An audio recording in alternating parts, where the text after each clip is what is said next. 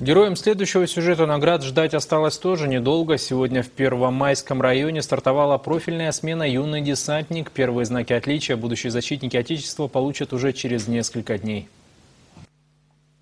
Чтобы попасть в строй, они прошли жесткий отбор. Для участия в профильных сменах «Юный десантник» и «Юный полицейский» выбрали 26 человек. Претендовали сотни.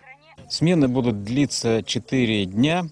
А, немножко они будут разные, потому что у юных полицейских будет больше специфики, связанные с работой в управлении внутренних дел, а у десантников больше будет э, связано со спецификой воздушно-десантной подготовки.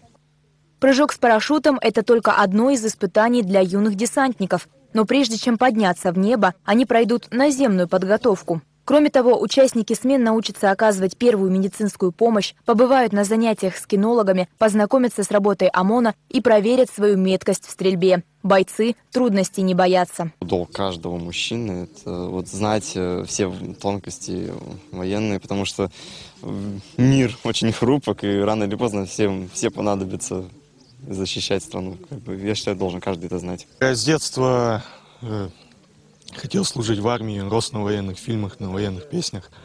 Вот, и два года я уже занимаюсь УПК «Память». Вот, в дальнейшем хотел бы стать э, военным медиком.